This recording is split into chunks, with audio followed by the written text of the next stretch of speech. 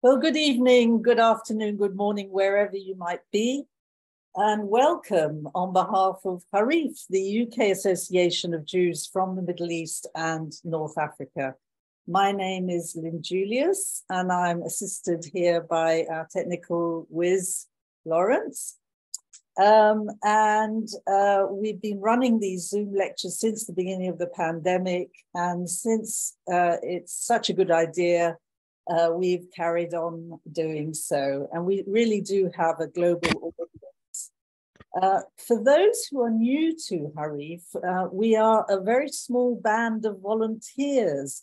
And our mission is to raise awareness of the Jews uh, from the Middle East and North Africa awareness of their history and their culture. Uh, we do have a website. It's www.harif.org. And uh, in order to be informed of our Zoom events, you need to be subscribed. Um, we also have a sister website which keeps, keeps you up to date uh, with the news. It's called Point of No Return. It's updated every day, and you can access it by clicking on news on the Harif website. And it has over 6,000 posts on Jews from Arab and Muslim countries. This session is being recorded uh, and the video will be up, we hope, within a few hours. And you can see it on the Harif uh, video channel. Uh, just click on videos on the Harif website. And we're also live streaming to the Harif Facebook page. If you have any questions for our speakers or any comments, please do type them in the chat. I'm afraid I have to keep you all muted for most of this session because there are uh, almost 150 of you out there. Uh, so it will be easier to manage. Yeah, and, and please, yeah. if you want to say something, do it in the chat because if you raise yeah. your hand with 150 little pictures to look at, I probably won't see it. Okay, so please do type your question or comment in the chat. Uh, so, our topic tonight is uh, Jews of Japan. Um, I think most of you are familiar with the Sassoons and that vast trading network that they set up across from India into the Far East. Um, and we've also been exploring here at Harif uh, lesser known communities, like, for instance, Jews in Indonesia uh, Jews in Borneo, uh, but um, Jews also settled in Japan. Uh, now, there've been Jews in Japan since the 16th century, Ashkenazim as well as Sephardim. Uh, in the 20th century, Kobe had the largest Jewish community. And of course, since we are the uh, Association of Jews from the Middle East, and North Africa, our main focus tonight is on the Baghdadi families from Iraq and Syria who settled in Kobe and uh, their experience during and after World War II.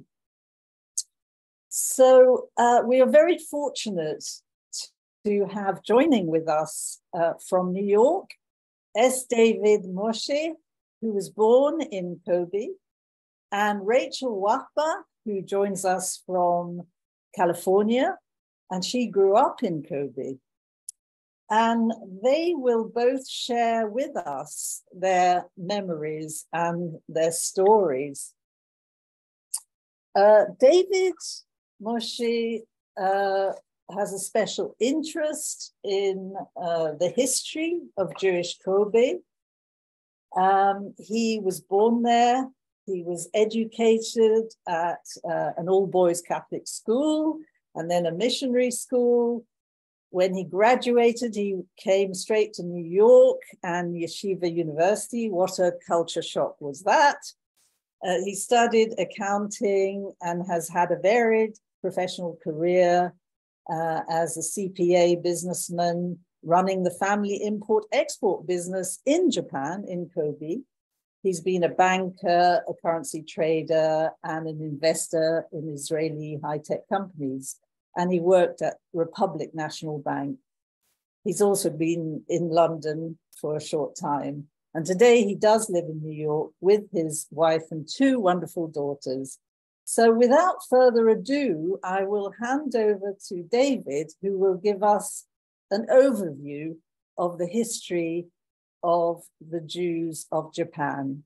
Over to you, David. Thank you very much for joining us. Thank you, Lynn. Um, if we can go to the slide, uh, we can show quickly the slide of uh, Japan. And uh, and I'll I'm not going to read through the slide. I'll just provide a lot of this information, just because I have it handy, and some of you might uh, want to know what some of the key dates are for that affected the Jews in uh, in Japan. In this slide, the most important date, obviously, is the uh, and the most important piece of information is the uh, information that the firm of Kuhn Loeb and Jacob Schiff funded Japan in their war against Russia back in 1904-05. And that, I think, is also led to the obsession uh, of the Japanese with the Jews. Um, the most interesting thing that I saw that is actually a piece of information is a uh, an English language uh, newspaper that mentioned that on Sunday, December 4th in 1870, at the synagogue in Kobe, Reverend Getlinger uh, uh, Gaston Blas of Kobe to Sophia, daughter of Michael Blas. He married uh, from Memphis, Tennessee. He married them off. That's the first English record that I have of Jews in Kobe, Japan. The rest of the story is really the story of my father and how he got there. You'll see that he had he came from Baghdad, Iraq in 1936. He was a young man, um, came to Japan he was working at a bank. I'll make this really fast because this is not so much the history of Kobe, but he was working at a bank. One of the clients of the bank came to him and said, How would you like to go to Japan and replace my son there? His son's name was David Simon. my father said, Yes, yeah, sure, I'd like to go. Got on the plane, got to Japan. He, well, I'm sorry, got on a boat, went to Japan, and uh, started his uh, business career in Japan as an agent for the Baghdadi firm of uh, Simon. Uh, it was called, he was called Abu Timman at the time, Howie Abu Timman. Anyway, so my father, my father got to Japan. He had an option uh, when the war was about to start to leave Japan. He decided to stay. His brother went to to Bangkok. Uh, the rest of his family, there were six, uh, there were seven children. Five of them remained in Baghdad. For the next several years, they had no contact with, with each other. Um, I go, I'll jump quickly forward to what happened during the war and how the uh, community in Kobe expanded. So prior to the war, there was a large Eskenazi population. There were uh, traders, there were representatives of watch companies, uh, Swiss watch companies, for example. They had retail shops where they sold uh, merchandise. Um, the Middle Eastern Jews, or I'll refer to them here as Mizrahi Jews, were primarily agents. They were agents for textile companies uh, for the most part, and anything else that uh, they could send back to their home country. And usually in those cases, it was either back to Baghdad or to England or to Italy. Um, the most significant event for the Jews so that was the core of the community in Kobe. What the most significant event for the Jews during World War II was uh, uh, Chiune Sugihara. He and um, his uh, fellow consul of the uh, from Holland um, arranged for effectively 2,300 45 visas to Gorsa. You can move that slide forward, Lawrence, if you yeah, want. Right. No, I was waiting for you to, your guidance. Sorry. Yeah. Yeah. Oh, yeah. yeah. So uh, you can give. So we're at the visas for life. So uh, Sugihara wanted to help the Jews who were standing at the gate of his consulate, but he didn't have any authority to do anything. And there was one very enterprising, well, there were, there were, everybody at that time was very enterprising, trying to find how to get out of Lithuania, Poland, uh, and the whole region. And they were exploring every possible alternative. So there was this one Dutch lady actually who found out that from the Dutch consul that if they uh, got a stamp that said no visa required for Curacao, they can at least get to Curacao, but they needed to know how to get uh, through some transit country. And they had approached and were getting information. This is all happening over the period of several months uh, they had approached the Japanese consulate and he said, look, I can't give you a visa, visa unless you show me that you're going someplace. So you have to have a destination visa. So of course, the they put it together and they said, well, I, I don't need a destination visa for Curacao. You can give me a transit visa for Japan. And that's how effectively how he got around that rule. As you probably know, they both, they each suffered in their home country for overstepping their authority but it was, uh, and they were both recognized in Israel, obviously, as righteous among the nations. Um, one other significant and really very special, uh, when they landed, obviously, they needed they needed money and they needed housing, they needed room and board, they needed to know where what their next step was. Many of them didn't leave with very much.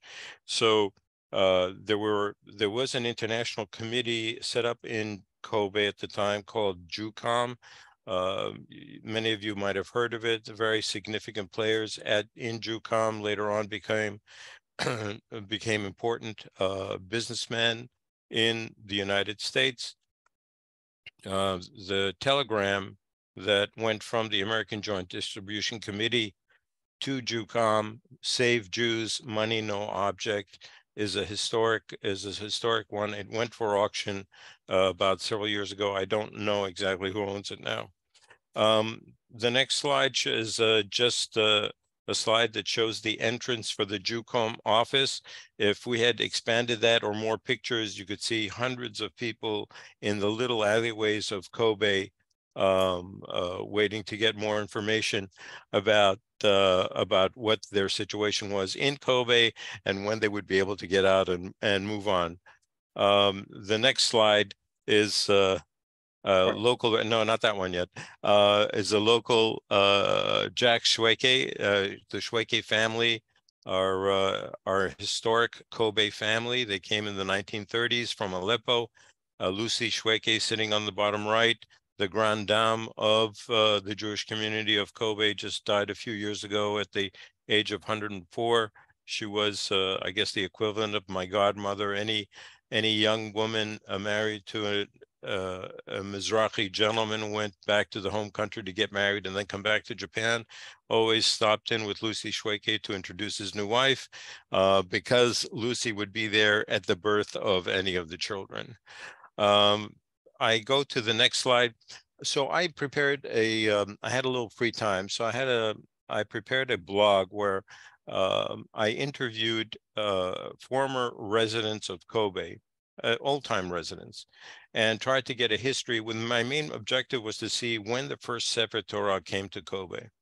And um, I called all the people that I knew, and I tracked down people, obviously, that I some I didn't know. Introduced myself, and I had a young assistant, Lisa, who transcribed all these.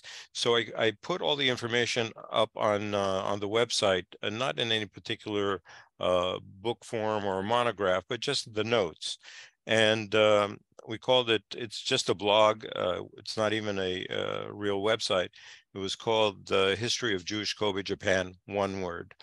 And um, over the years, I've had extremely, it was very quiet in the early years that it was up on the internet, but then, uh, then for some reason or other, that uh, it steamrolled and we had lots of interest, people making comments, people sending information and so on. So this picture that you're looking at is the story of a gentleman who was a writer for the Asahi Shimbun, a Japanese newspaper. So he writes to me and he says, this is very strange. My boss, pictured in the picture over here, used to be a uh, bursar on a boat that went from Vladivostok to Tsuruga, Japan on the west coast. He had collected, not collected, he had been given from these seven individuals pictured in that card, their photos some of them had inscribed, you know, uh, best wishes and their names. Some said, oh, we don't know where we're going, but please tell people about me. Don't forget us, that sort of thing. The gentleman never did anything with it. So, but he did give it to his uh, his uh, young colleague, uh, Kitade, who had reached out to me, and he said, "Look, I have this manifest. I have all these pictures. I don't know what to do with them." So at the time that he had called me, the Holocaust Museum was just being completed, uh, had just been completed in Washington, D.C. I suggested, well, send it to the Holocaust Museum. And I said, you know what? Why don't you just send it to Yad Vashem? It's a great repository of all kinds of information about the Holocaust. So um, he did do that. Um, several years later, I get a call from the uh, Japanese ambassador to uh, New York and he says, Moche san, we're having a party. Your friend Kitade is coming over here. I said, Oh, what happened?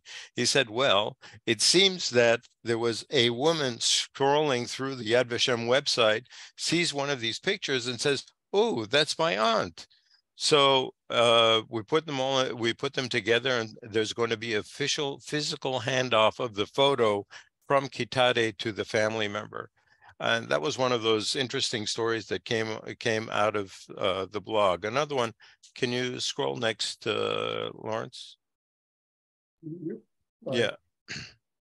Anyway, so that the warriors were uh, not difficult. Well, there were of course difficult years, but as you see from the slide, the a lot of the local residents, the permanent residents, moved up to the mountains. Um, there were kind, there were very kind Japanese throughout the, period of the war, who helped get the Jews get food and so on. Also, the Jews had uh, textiles and and goods in warehouses that they could barter for food in the in the countryside, and that's one of the things that my father father did. Um, uh, just a story about the Japanese security officer Osakabe. He was assigned to watch the Jews of Kobe, and um, the reason we learned about him is that my father, every January 1st, which is an important New Year, which important date for the Japanese, they're it's an international new year but it's a very special week for them. And we would uh, he would give us a bottle of whiskey and wrap it up very nicely. And he said go go take it up to a certain apartment in an apartment complex next door and uh, we would do that. We never know, we never who knew who the gentleman was, but the apartment complex was owned by a friend of ours, uh, Jamal family, original from Lebanon, but then Milan and Italy. And when they arrived to Kobe, when the next generation of Jamals arrived to Kobe to look over their properties, they real they saw this this gentleman had an apartment in one of their in their one of their buildings, and he had never paid rent. So they called up uh, another part-time uh, permanent resident, Rahmu Sassoon. They said, uh, what's going on over here? There's this guy, he's living over there, no rent, no nothing in all these years. He said, well, he's that's Mr. Osakabe. He helped us during the war. And they said, well, and then of course they they found another place for him uh, because they uh, tore down the building to to do something else with it. But that's uh, one of the one of the bright stories of uh, the Japanese being kind to the uh, residents of Japan um, uh, during the war. Which leads us to the uh, temporary refugees that came in, the, the uh, refugees that had um, Sugihara visas, and there were besides those 2000 plus there were close to another uh, 1500 who had different kind of visas that were some com coming into kobe and um, so this displaced Jews is the name of an exhibit that was uh, that was set up and curated at the Hyogo Prefectural Museum. The new curator of the museum wrote to me uh, as a result of this blog that I'd mentioned earlier, and he said, "Oh, my name is uh, such and such. I um, I'm the new curator. I went downstairs to the basement and I was looking through all some of the boxes uh, of uh, from some of the old exhibits, and I came across this uh, this box. It was called it was it was called Displaced Jews, and it was photos of an Osaka photo hobby club. They came to Kobe to take pictures of in, these individuals. I mean, obviously, this is just a few pictures that we put together here on the, on this PowerPoint slide, but it's a catalog of of European Jews um, in all, you know, in any many of their activities during the course of a day. And when you think about it, they were only really there for a few months because many of them had to stay for two weeks. It was only a two week visa. It was after all, it was a transit visa. So they had to leave. Many of them couldn't leave. They got extensions to stay a little bit longer. That's another story. Eventually, all these refugees uh, were sent to uh, this the foreign settlement in Shanghai where they spent the rest of the war. Uh, the next slide again is another picture of uh, Japanese, I mean, I'm sorry, the displaced persons, the refugees milling about in the alleyway. The, the slide after that is a very interesting slide.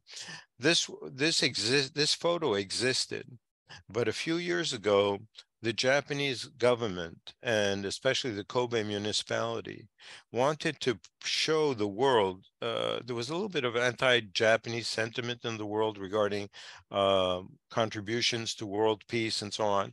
So the Japanese government got behind an effort to disclose to the world the things that they did that were not terrible, you know, not, you know, not uh, not some of the uh, POW camp atrocities and so on. So this is a picture of the Jewish refugees milling around an apple cart that was brought in from the countryside. And the Kobe municipality used this as an example of how the residents uh, supported the refugees in every way they could. And the truth is that they did. Um, the police, there's there is some interesting stories about how the police let the uh, refugees mill about uh, wherever you want. You know, Japan is a very orderly, structured uh, country.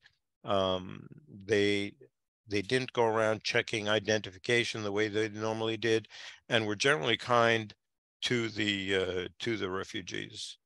Um, I don't know how much time I have left, but I'll I'll show the other picture is just refugees, some happy, some less happy, uh, waiting for whatever news they could uh, have about what their next step in in their journey journey was. Post World War II. Anyway, um, uh, the um, uh, just one last thing about Osakabe. He was kind enough to warn the Jewish community that there was something brewing, that there might be shipped out at the time, close to what ended up being the end of the war, out of Kobe. Um, there was a little bit of concern where they were going to do that and what was going to happen. Um, but uh, luckily, um, for the Jewish community, uh, they were they were able to stay in Kobe till the end of the war, and uh, with none, nothing uh, nothing tragic happening. Um, some interesting post World War II things to worry, to concern, uh, to think about.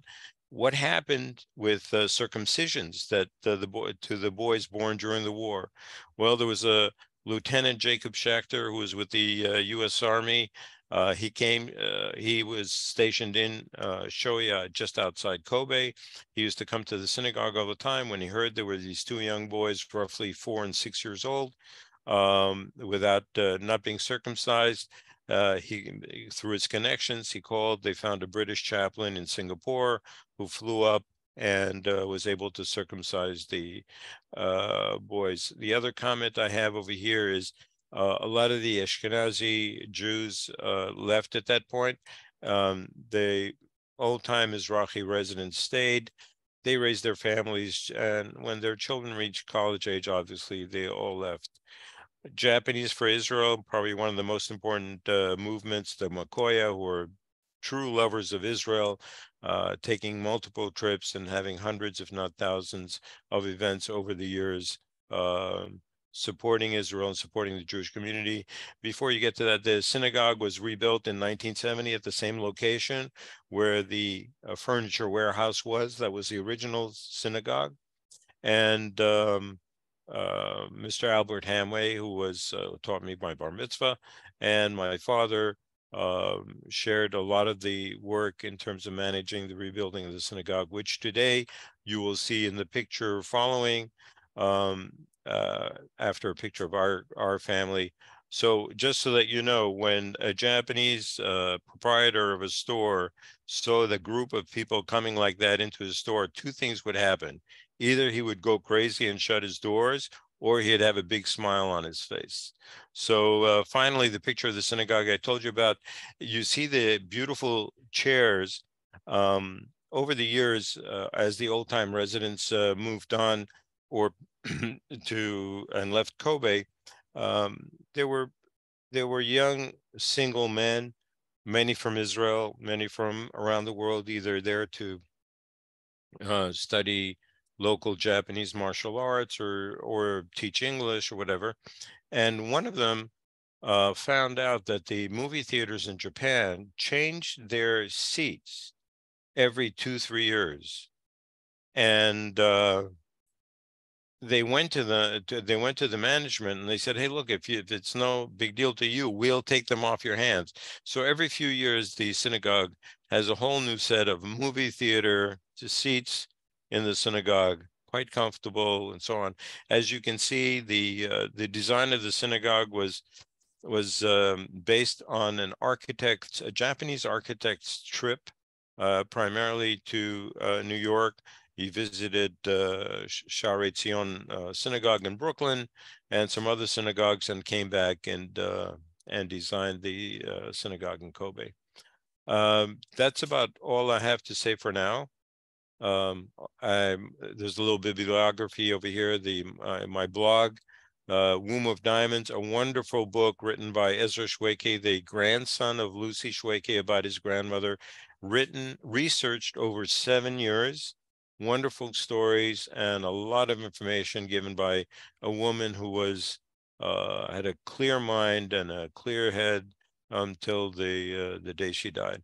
And of course, the famous Fugu plan written by Rabbi Marvin Tokayer, which uh, which gives a lot of background on the uh, Japanese motives uh, in the early years of the war and how they tried to get uh, New York investment banks and New York Jews to fund their World War II effort and by offering Jews sanctuary in Manchuria. But then that's only one of those side stories. Then, uh, so I thank you very much for listening, and I hope you, uh, if you have any questions, please feel free to ask away in the chat.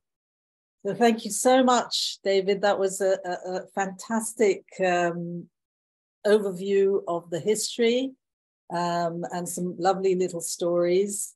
Um, just a reminder to those of you who want to ask questions, please do type them in the chat. Uh, unfortunately, we have to keep you uh, muted for the duration.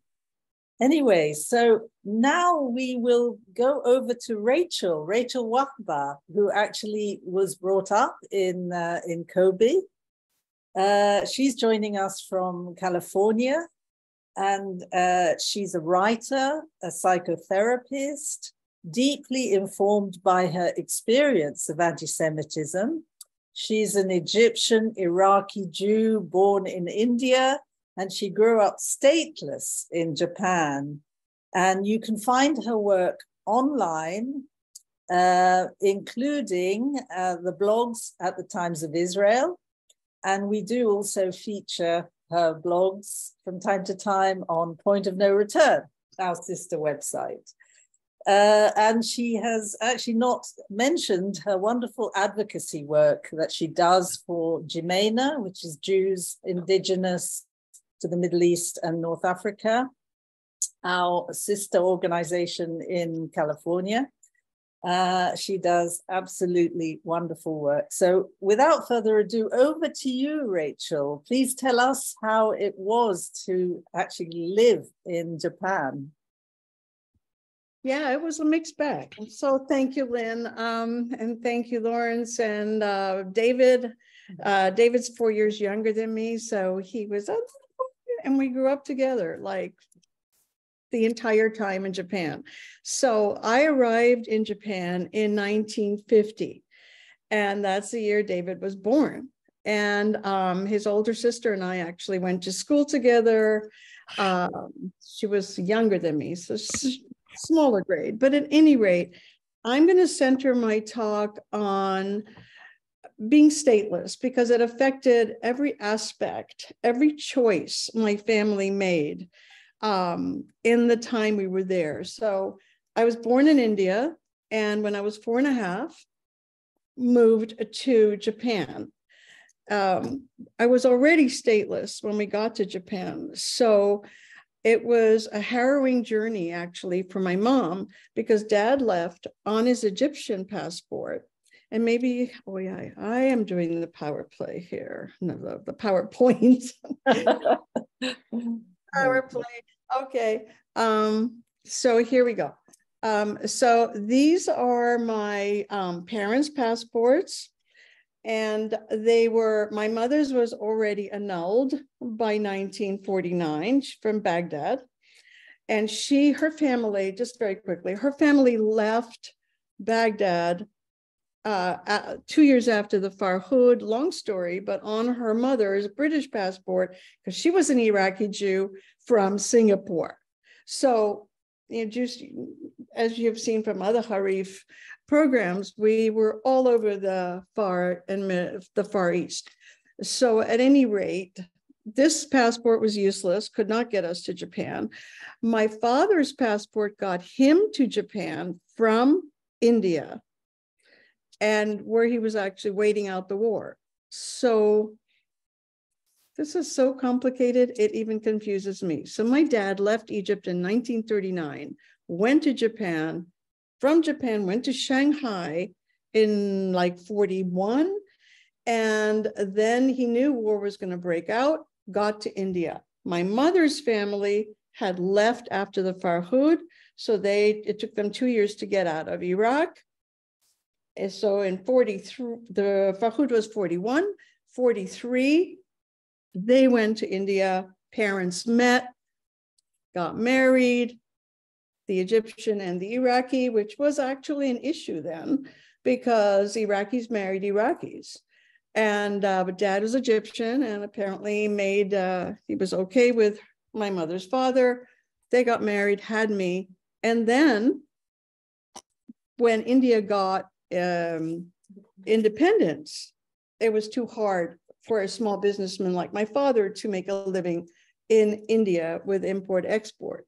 Went back to Japan in 1950, actually a little bit before 1950, took my mother and myself and my six month old brother um, exactly a year to get out of India to join my father in Japan because we were considered stateless.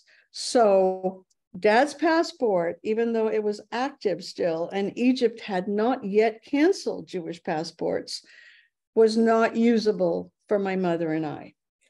And the Indian consulate said, We can't do anything for you. You're not Indian, and you married to an Egyptian. Go to the Egyptian consulate. Egyptian consulate, Musa Wahba is no longer, pretty soon he's not going to be an Egyptian.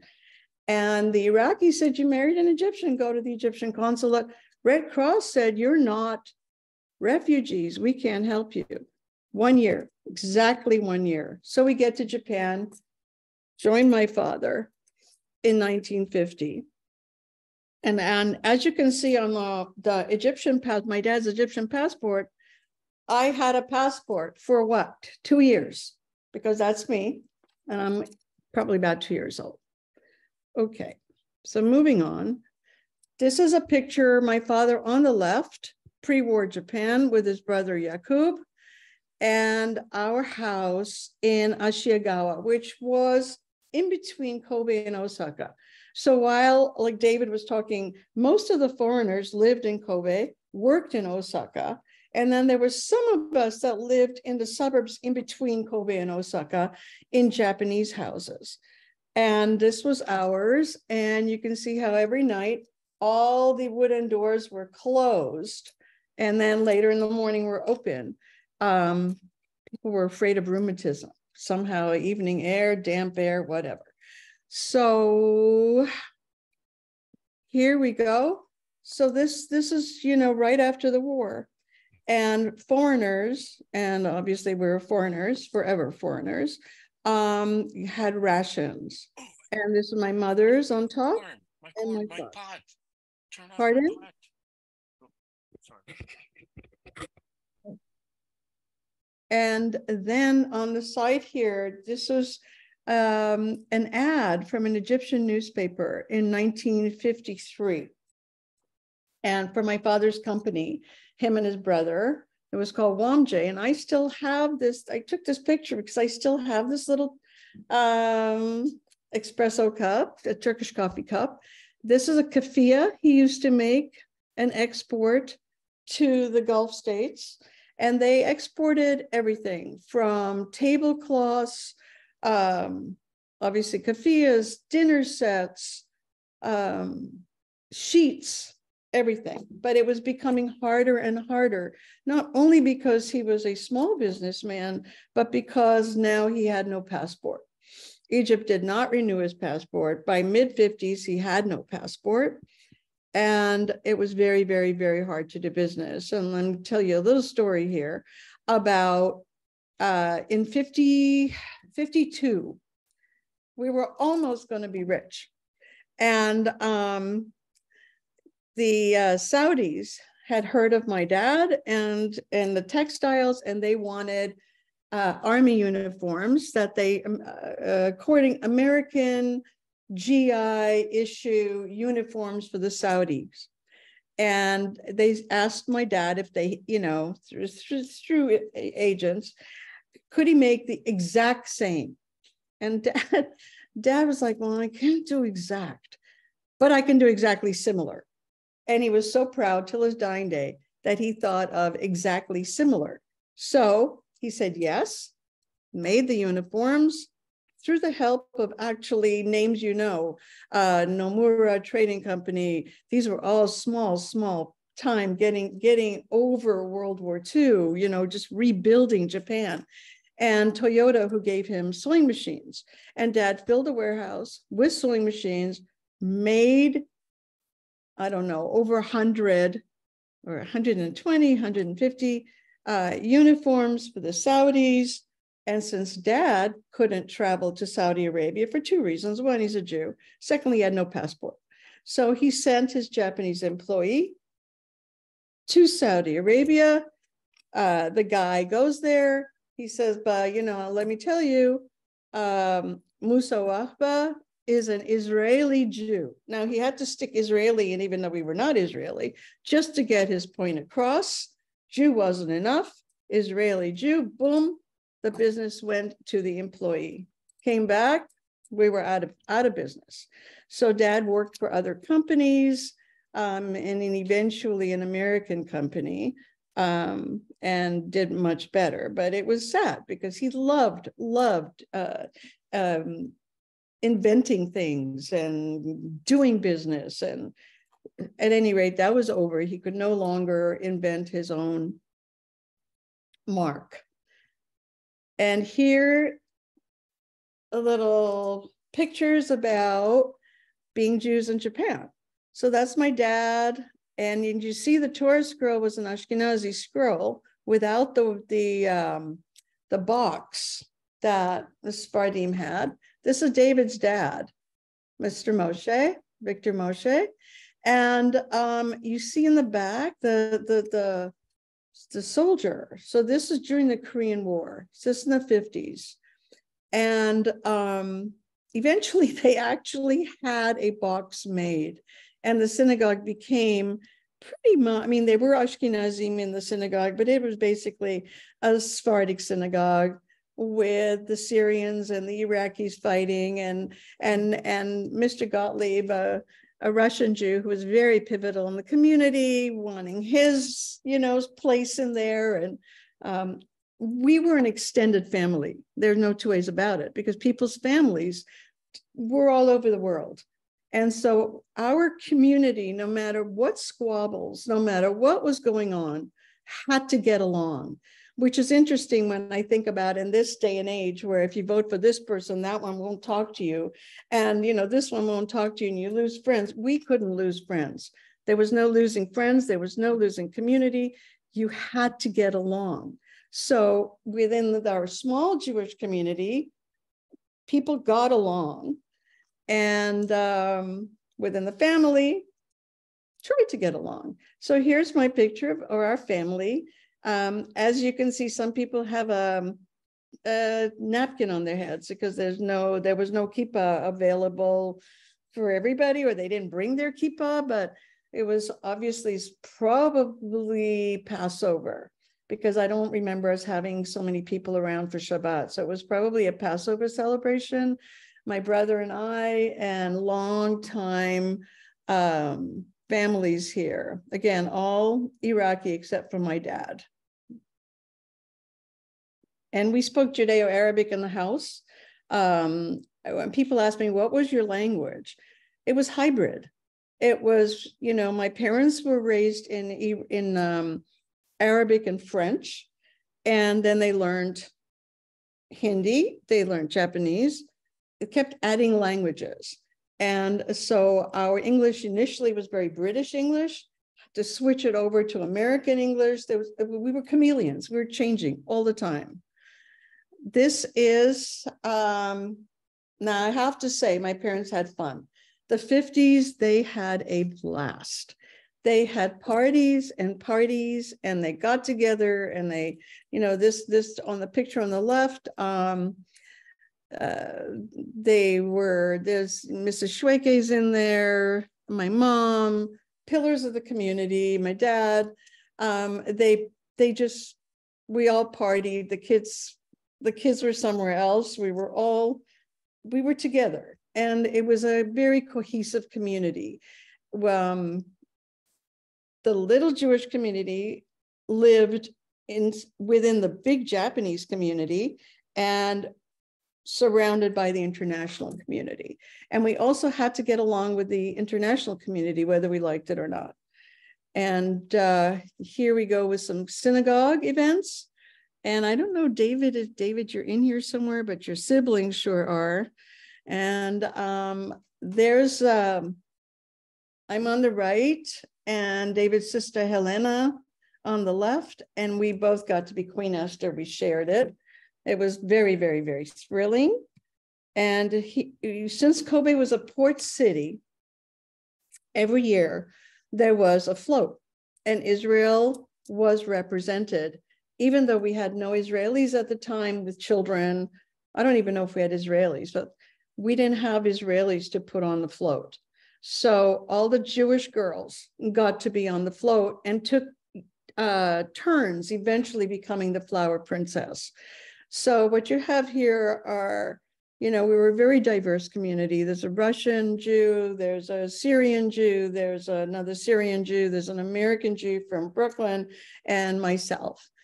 And um, it was wonderful. You went through the the town and people were screaming, Israel, Israel, ah, Israel. And then it was amazing because to get such a positive reaction around being Jews and Israel when um, in school, and I will tell that story soon, it was a whole other story.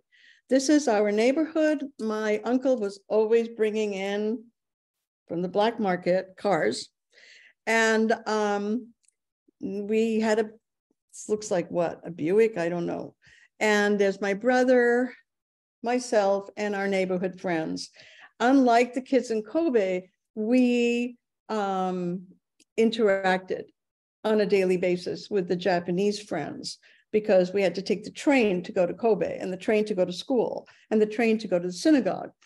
So um, it was it was a it was wonderful to be so immersed with the Japanese culture and you know actually across the street from here was a bombed out house. We lived right by bombed out houses that we would use for the walls as, chalk on the street. Uh, we lived quite and ran on the river, but then always longing for Kobe, which is where the foreigners were. This is um, an, a, a shot of a matchstick box where my brother was featured. So we were both, we were foreigners. We were always aware we were foreigners. At times, we were thought of as exotic and can we can I take a picture? And other times we suffered slurs. It's just how it was. And you could live in Japan for many, many, many years. There was one foreigner, Sam Evans, who eventually got a Japanese passport. I don't know how and why, but we were there 20 years and there was no way to get any passport.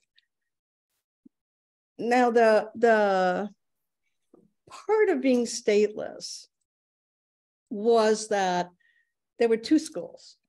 And um, there was an, a missionary school, the Canadian Academy, which was not there to convert you, it was there to educate their children. And then there was the Catholic school that I went to for nine years. And the Catholic from kindergarten through eighth grade. And the Catholic school was there to convert you. And usually, well, most of my years there, I was the only Jew in my class. So it was incredibly difficult. And um, and being stateless, you know, there was no backup. And so there was just like you're a Jew. You know, you're not a, a, a this Jew or that Jew, you're a Jew. Can't even say Egyptian or Iraqi because we didn't have passports anymore. So I was I stuck out as the Jew. And I, in when I was very young, in third grade, and I also spoke back, which made things difficult. So in third grade, one of the nuns, the, actually the one I loved the most, came over to me and, and, and took me over to the crucifix and said, Look, look, look what it says. It says, Jesus, King of the Jews. Why don't you accept him as your Lord and Savior? And I'm like, if he was a Jew, why do I have to convert? Okay, punishment. So we, we go through many, many years, and I reach this age on the right where I'm older, and I we have a history book report to do. And I'm thinking, okay, I got to do something. I've always been an activist. I've got to do something to teach them that all this Jew hate ends up in something terrible because I had just come across a used copy in a secondhand bookstore on my way home from school on the Holocaust. And I read this book on the Holocaust when I was in seventh grade and gave the book report. And I really thought that it would make a change. And I thought if they knew the extent of you killed Jesus, you killed Jesus, you're this, you're that, you know, um, Jews are bad. This is what it leads to. And instead, um, right before I got to my seat, a girl, a classmate, and again, as I said earlier, we had to get get along. This classmate and I were together from first grade on. And the classmate was half Japanese and half German. Her father was a Nazi who had to, who basically chose to stay in Japan, got married um, to a Japanese woman, and had this daughter. And as I'm walking back to my seat, Helga says, Well, you know, my father said Hitler built good roads for Germany. And I thought I would hear, yeah, but look what else he did. That didn't happen. What happened was the conversation uh, centered around, well, would he go to heaven or would he go to hell if at the last minute he converted? And the consensus was that he would go to heaven if he was sincerely repentant at the last minute, but the Jews would always suffer events like the Holocaust, and we would never go to heaven until we accepted Jesus as our Lord and Savior. Well, Fortunately, my father had a good enough job by then, and I got out and went and had actually the most wonderful four years that I spent in Japan um, in my high school, the Canadian Academy, because, like I said, they were not there to convert you, they were there to educate you. And a lot of the children there were children whose parents were converting Japanese people or having hospitals and schools and so forth all over the rest of the Japan. And then they would send their children to our school and us local people, um, businessmen's children would go to the school and we would pay very, very um, expensive tuition to cover the missionary tuition. So this was graduation.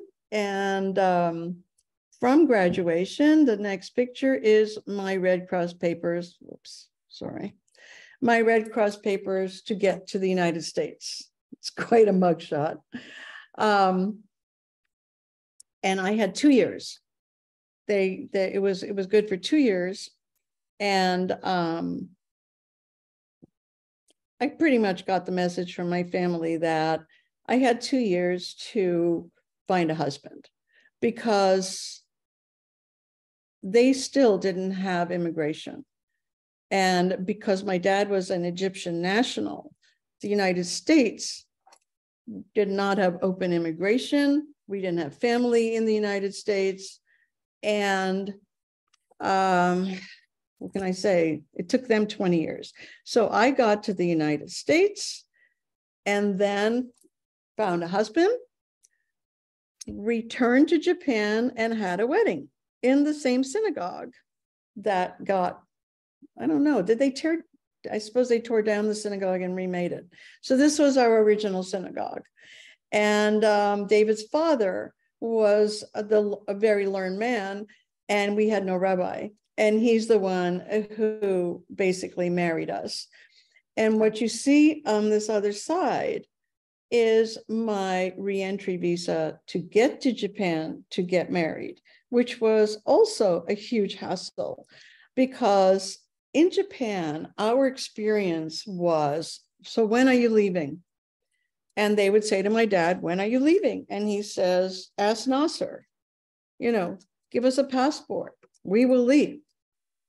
It made them nervous to have foreigners without a nation to, to go to, even though we had Israel. Our, the rest of our family that were all kicked out from Iraq and, and Egypt at the time, 56 on, 51 and 56, they were living in the Ma'abarot. And then they were having a terrible time. So we were not going to make Aliyah and go live in Israel. We were going to wait for America. That was the thing, just waiting for America.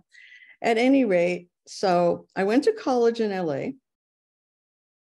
And I'm like, yay, I found a husband. I'm getting married going back to Japan because my parents are still there, the community is still there, getting married in the synagogue of my childhood, thinking that that would just be a cakewalk. Well, I barely got to my wedding in time because the Japanese consulate in Los Angeles, where I was living, said, we, we don't, we, we can't just, you know, give you a reentry visa. You might not leave. And I'm like, I'm leaving. Truly, I am leaving. And um, it says over here in Japanese stateless, um, they grilled me and grilled me and grilled me. And then they said, maybe, maybe we will, we will give you papers, which they did. And um, I got to the US. Whoops. Yes, so I got to the US and um, lived happily ever after. I, I, it, my, my um, childhood made me an activist. My childhood made me somebody who un- really understands anti-Semitism and understands that we need Israel. And even though we didn't go to Israel, it was always there. And um, that we're a people and we're people from all over the diaspora. And we can't take israel for granted. And so that my blogs are pretty much about that and about israel and being jews and what that means. And um, yeah so this is my very personal story and I have to tell you, it was really hard to go back and look at all these pictures because they're cool. They're cool pictures, but the stories behind them were difficult. Thank you so much, Rachel. I think that that was a wonderful journey uh, through memory lane. uh, just the question is, was it ever possible to become a Japanese citizen? You know, you'd let you'd spent all these years in Japan. Why why couldn't it happen? David might know that answer better. I just know they didn't do it. You just didn't get to. You were a foreigner, you were a gaijin, you were a foreigner, and you weren't supposed to stay. Well, You're not supposed to stay there. Depending on how long you were there and how you got that state. You can't hear you. Sorry, can't hear. Can you hear me now? Can you Yeah, hear me now? yeah, You can. Sorry, it depended on uh, how long and what happened to, and how you got that stateless status. So I think my father had the option but didn't want to. And as someone like Valentine Morozov, they did become, they did become Japanese. Mean, he, he was a strapping, good-looking Russian guy with a Japanese passport. Yeah, Did he become Japanese? yeah. They were also waiting for US immigration and kept, you know, going. Mm. But Hmm. generally, you didn't get to. Yeah. Because if we could have, we would have. And my parents were there 20 years. So there was no passport. Hmm. And I could, I couldn't Yeah. get a, And David, you showed um, your father's passport, Iraqi passport, Yes. and, and then that was voided, wasn't it? I mean, Right, it was was- renewed. Yeah. Yeah, it was Yeah. renewed when he went back to Iraq after the war, got married, and they came back to Japan in forty-nine. And when he sent his passport to Tokyo to get renewed, they said they were not going to renew it. And that's when he bought the Panamanian citizenship, which is another story. Another Yeah. story. Okay. But that's because you were an Iraqi national outside Iraq, and automatically you uh, you had to forfeit your nationality. Is that right? And, Ju- and Jewish, correct. And yeah. Jewish. Yeah. Of course, all Jews lost their nationality. Wow, what a story. Uh, shall we have a look at the questions in the chat? Um, can either of you see the questions? Are there any questions you would like to answer? Well, somebody just asked, is there a Jewish community in Kobe now? And I answered yes. there's a there's a Chabad rabbi, Vishedsky. He's been there for several years. He's the brother-in-law of the Chabad rabbi of Tokyo. And uh, one of the main what happened was that when a lot of the older residents left, there was a young man by the name of uh, this escapes me from New, New Zealand, he, Bruce Benson he came to Japan to study judo. And while he was there, he sta- he organized the first Maccabiya team from Japan. But uh, what he did, he wasn't religious. He was teaching English and studying judo in Nara. And then when everybody left, for some reason or another, he used to come to the synagogue from time to time. He, in fact, said he would come more often if there was a keg at the synagogue. So he, so they told him, yeah, sure, bring in a keg. So they brought in the keg, and he would spend all afternoon at the synagogue on Shabbat. And um, when everybody left, he sort of took on the role of, uh, you know, managing the synagogue. I remember he used to call my father all the time. My father had already been in New York. He used to call him all the time. You know, we had somebody passed away. What do I do? And my father would lead him through the instructions. There was a small Jewish cemetery up in Futatabi, and um, and uh, he ran the synagogue until one day he decided, and he we talked about it um, about how to uh, support the synagogue once he left. And uh, one of the interesting is that when the synagogue was the new synagogue was built in 1970, they built a mikveh for the community as as opposed to private mikvot, uh, one in our home and one in the Ben David's home, um, and uh, as a result, between the mikveh and the apartment above the synagogue that they used to rent, they helped cover, uh, excuse me, cover the costs of maintenance of the synagogue. And um, part of the deal that Ben, that Bruce Benson made was that if the Chabad rabbis would send a rabbi at their expense, we would put, uh, he would put them up at the, at the apartment in the, in the synagogue. So that's how the community basically has survived since then. And of course, the young Israelis that come through and the occasional traveler is very, very occasional now, not like in the old days when Japan was a, a major supply source for manufactured goods as well as you know pearls, cultured pearls, which is a big business for Kobe. Um, so that that has uh, you know it's not quite as active as it was anymore. But Judy Brown Davis says her grandson had his Brit in the uh, in the shul uh, in uh, Kobe almost 11 years ago. Well, that's that is amazing. Um, yeah, and uh, Susan Diamond asks, did any refugees marry Japanese? Did you know of any? Marry Japanese, probably not. Or, or did did any Jews? Uh, Well, Jews, yes, not not refugees, I don't think. But there were a lot. There were one of the saddest things was the the number of Israelis that married Japanese young Japanese women. Yeah. Oh, goodness. I mean, recently, right? I mean, like in the, since we left. Uh, Yeah. even before Itzhak Ofek married a, a Japanese woman, uh, Elias Zilcha. And Oh, he was a, Zilcha. yeah, he was a Ko- he was a Kohen and he married a Japanese woman. The No, story- there were there are a few. yeah, Sa- My brother Sam might know a few more. He, I know he, he must be listening. Rabbi in London, Rabbi Berger, Yes. Yes, that's right. Japanese But I think in London, he in found London, but she lady. converted, Yeah. Orthodox conversion. And uh, Mira asks, in what ways did aspects of Japanese culture influence your own in music or in cuisine? Um, in my house, my mom loved cooking, so she would like cook Japanese food as well. But I just wanted Indian and Arabic food. And then American. We would have bamia once a week. We had to have bamia because I was insisted.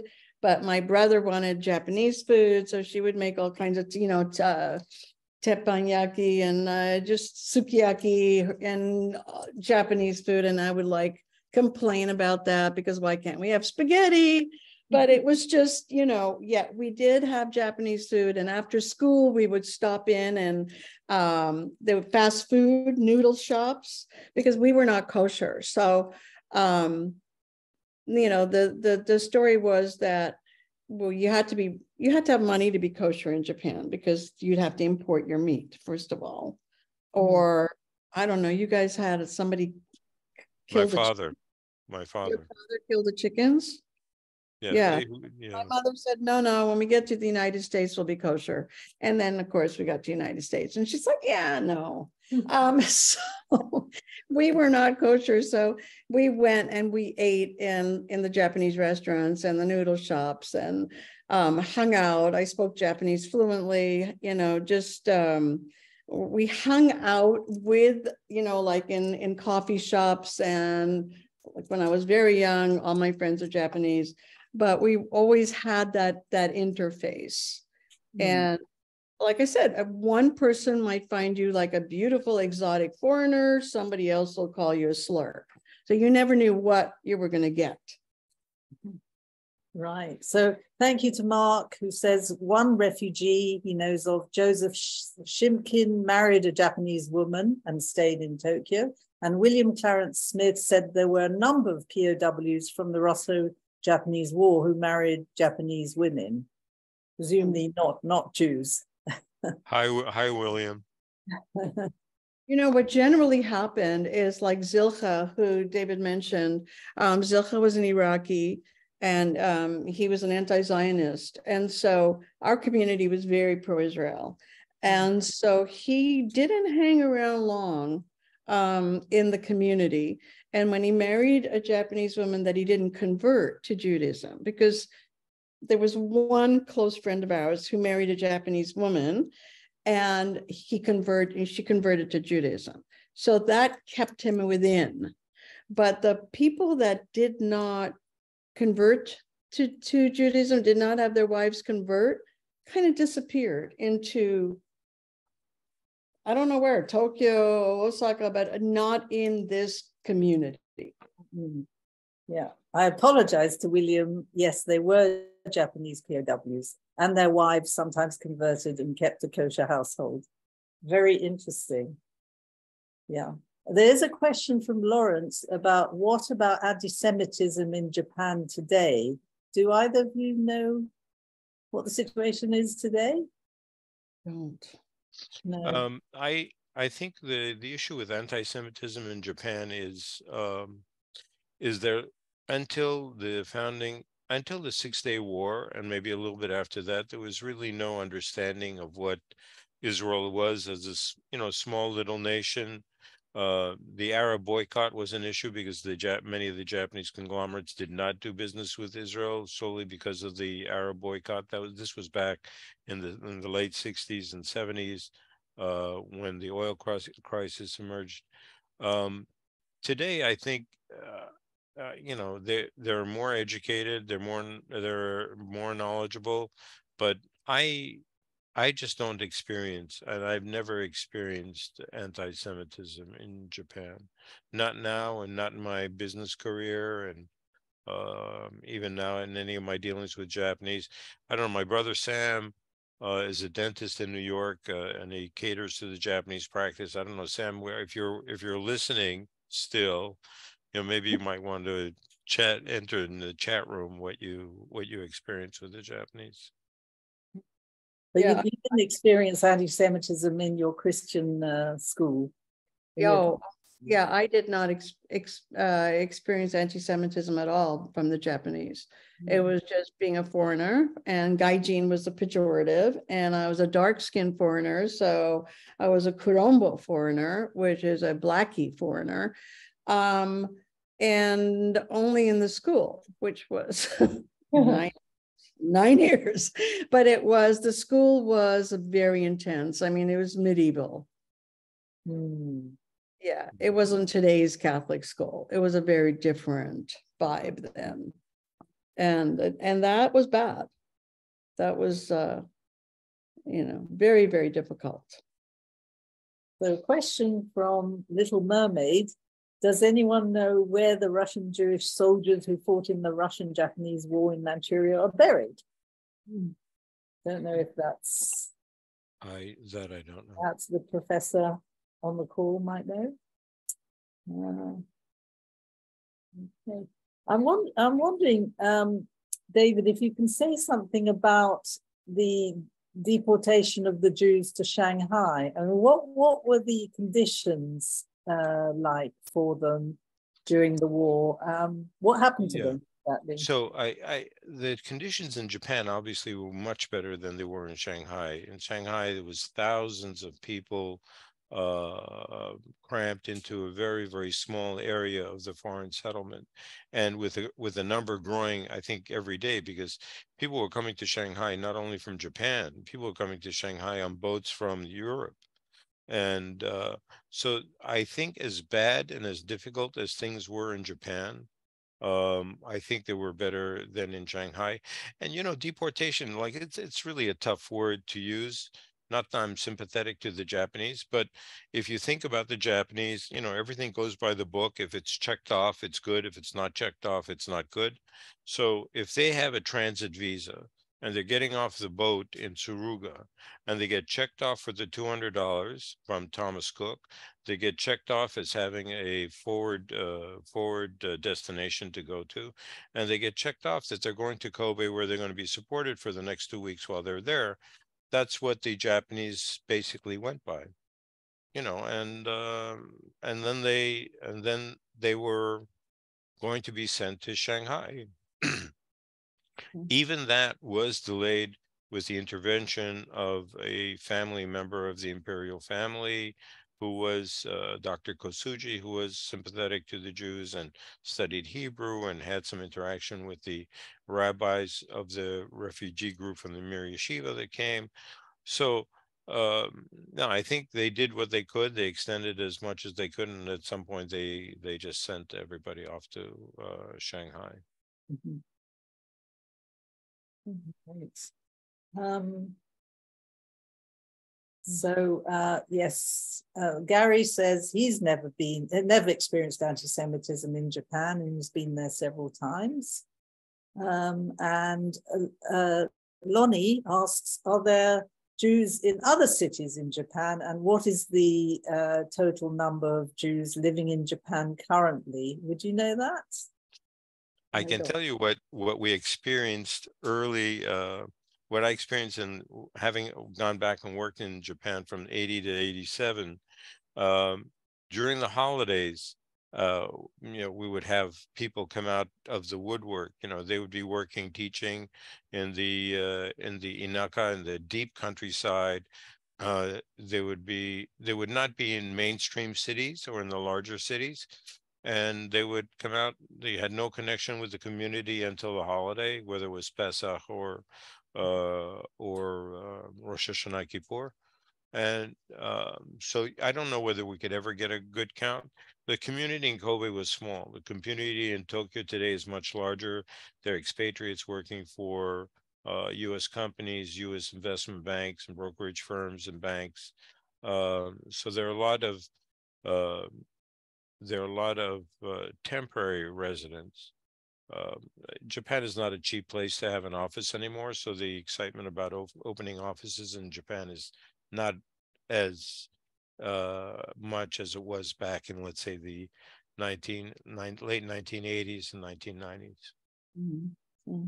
And um, uh, William Clarence Smith says if you exclude POWs and refugees, there were about a thousand Jews before World War II, though some sources claim more.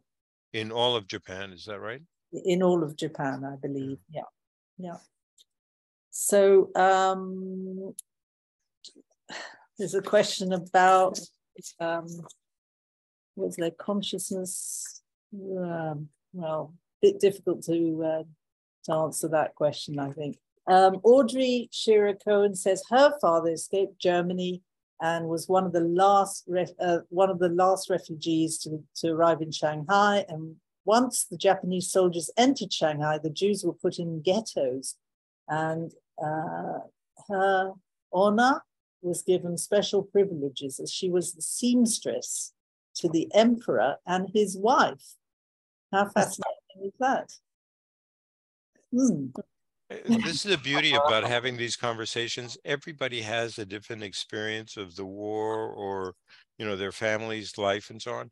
So, I mean, I see the question about protocols of Zion. I mean, those books aren't really uh, interesting for um, uh, well, maybe maybe Professor Smith would like to correct me. Interesting for uh, for people for Japanese to study as philosophy books uh, to adopt and the philosophy to adopt. Uh, I think it's more out of just interest of what the of that world thinks.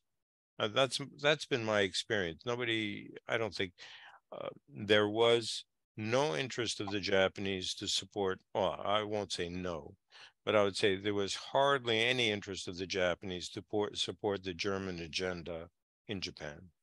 Mm-hmm. And uh, and that's evidenced by the fact, at least in Kobe, where they had uh, minimal minimal presence. Okay. Well, I think um, we've been going for almost um, an hour and a half and um, um, it's probably time to wrap up.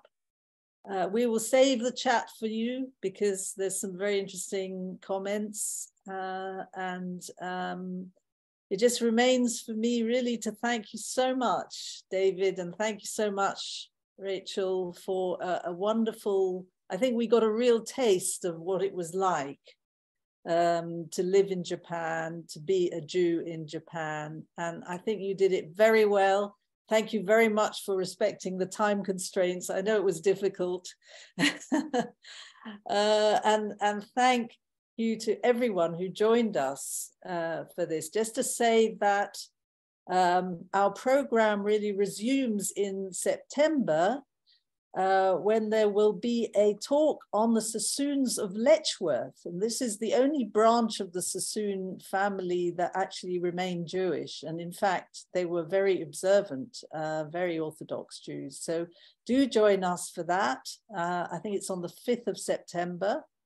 There are two in-person events um, one in in uh, August, which is a conference on Aden, uh, not much use to those of you in, in the States or Canada, I'm afraid.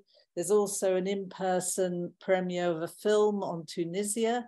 All the details are on the Harif website. Um, because they've got all the adverts coming up now. Yeah, and we have a commercial break.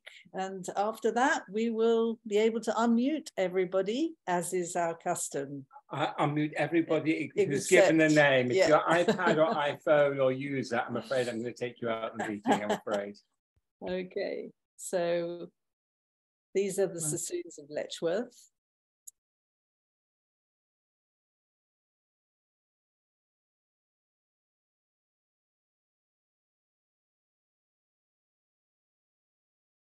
Wow. Great stuff.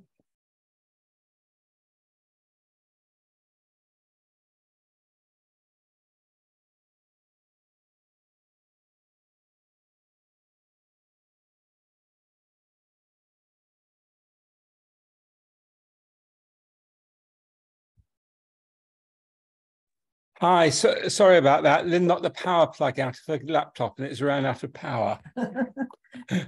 Um, so she's going to come and join Yeah. me. Hello. So, um, yeah, so just to wrap up, uh, I think you've seen the commercials. Yeah, I know. I, and, got- I just um, want to go through and remove people. Yeah, and you will be unmuted shortly and you'll be able to say goodbye or thank you. In fact, everyone who shouldn't be there has actually vanished, which is absolutely fantastic. Okay, so unmute everybody. Yeah, I just want to go down there. You said that right. Okay, everyone can now unmute themselves. So if you do want to say something, just in an orderly fashion. Can I ask a question? Can you hear? Yes, Uh, how is it, Rachel, that your name is Wahba? I lived in Egypt and Wahba for me was an Egyptian Coptic name. Um, actually uh, Egyptian Muslim, Coptic, and Jews also have it. We were, my father's family, his paternal side were in Egypt for like thousands of years. So it might have been something else at one point, but we've always known ourselves as Wahbas, and they were cousins in a village that was populated by a lot of Jewish Wahbas. And uh, yeah, it's a it's an Egyptian name, but yes, Copts and Muslims and Jews have it. Interesting. It's my, my sister's best friend was uh, was Wahba and she was Egyptian Copt. That's why I, I asked. Yeah. Yeah. It's a very common Egyptian name. Can I add something to that? yeah, Alan. Yeah, this is Alain Farhi. Uh, Rachel, uh, nice to see you again. Uh, I just want to mention two things. Uh, I have worked this week or this month on a Wahba family uh, that married Levi, Hoser, and Mashish. They were from Benha. And of course, you know that I always try to link the different Wahba. My, my uncle, my the husband of my mat- paternal uh, sister, uh, is Wahba related to you, Rachel, as you know. Uh, so I'm trying to find that, and they will be on the website at this month end. And if you want, maybe I can share it to you privately, uh, Rachel, to see if you can see any names. Uh, for those who live in London, I will be in London the, the, the last week in July at the at a conference. And if you give me your email, we'll try to get together. Yeah, Alan, do you have Lyn's email? I think so. We'll, we'll be in I London. think I think Lyn's, I know, Lyn's I'm coming, I'm coming. schedule. This is the genealogical conference, which is being held in London. Yeah, So I'm disappearing. I, am going to turn off the blur background. Uh, the uh, Sorry. Okay, said- no, look forward to seeing you in London, Alain, and all the other genealogists on, on the call. Yes, we shall be there. We shall be there. Yes. Yeah. Wahba, by the way, is really a big family from Benha in the Egyptian Delta. Fantastic, yeah. I Thank can you. leave this.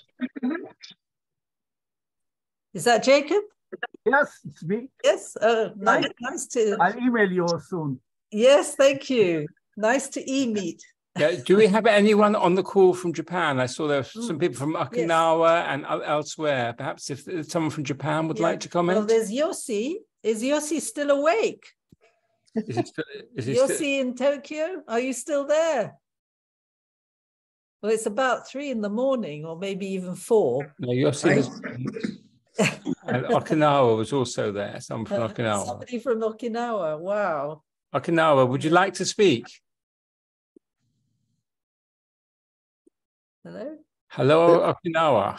I, I do have a lot of uh, Sephardim who lived or died or worked in Japan.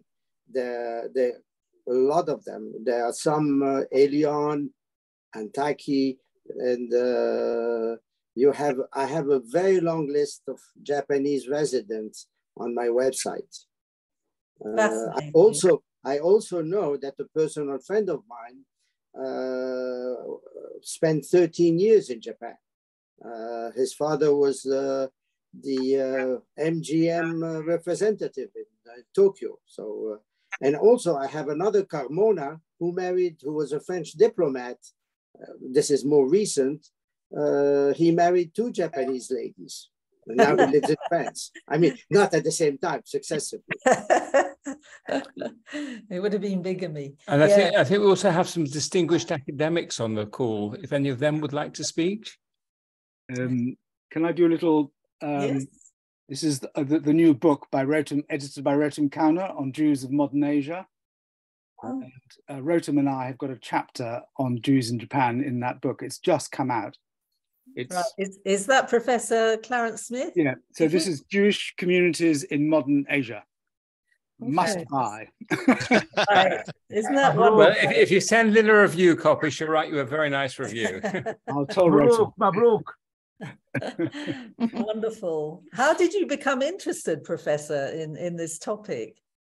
Um, I've forgotten. but I've worked on different diasporas. Uh, so I've worked on Jews in the Philippines quite a lot too. Um, who were Can, can we have a lecture? Uh, Jews in the Philippines? Yes. Yes. Yeah. Yeah. yeah. Because there were Okay, very- you're different sort of communities. There were a lot of um, uh, Judeo-Spanish or Judeo-Iberian-speaking Jews from Anatolia, who I'd never, I'd hardly found in Japan at all. Um, so I'm, I'm not quite sure why in the Philippines and Japan the community was fairly different. There was not much connection between the Philippine community and Japan, except for a couple of Syrian families. Yeah. Yeah. Yeah, there were Uh, some Syrians. Pichotto. The interesting thing is they went there, for, went from Turkey to the Philippines and not direct from Spain to the Philippines in 1492.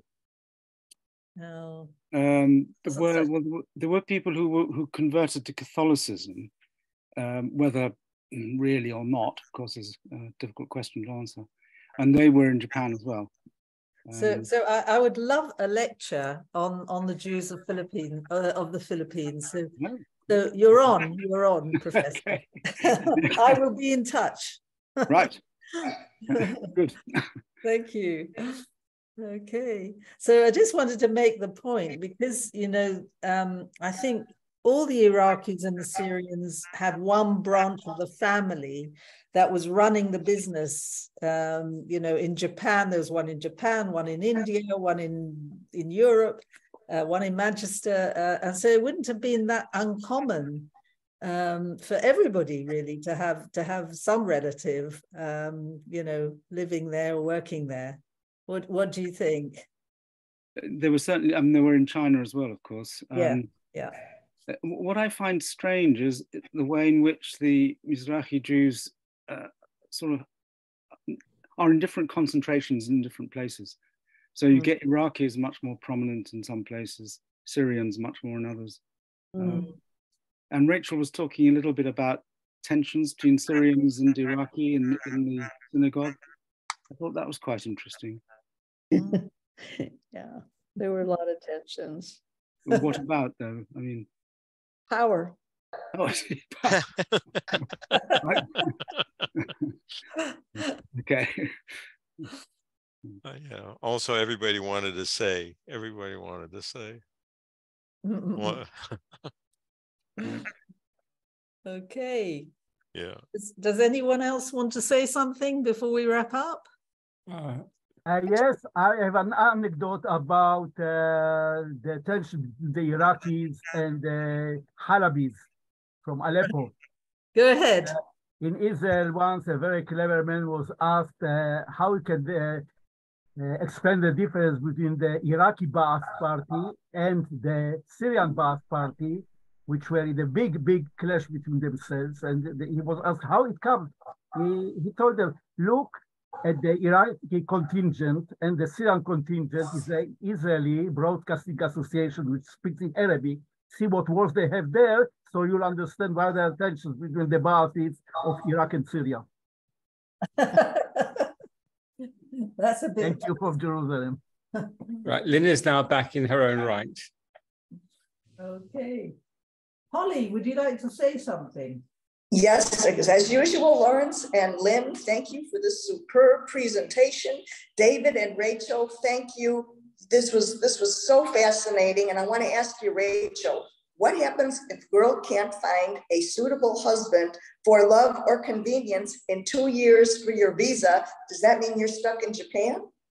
It it would have. I mean, you know, my my father um, sort of warned me. He said, you know, nice, uh, Israeli business uh, coming now to Tokyo. I'm like, whoops, I better find somebody fast. Oh my God. in America. Yes, it would have meant I would be back in Japan. And then, uh, you know, my parents eventually did get, get their immigration visa, their number came up. Um, so we would have gone to the US, but it, I probably would have been married off. Yeah. Can I just ask, well, first of all, thank you all. It was fabulous. And I just want to ask Rachel, where do you live in LA? Because I'm also here in LA.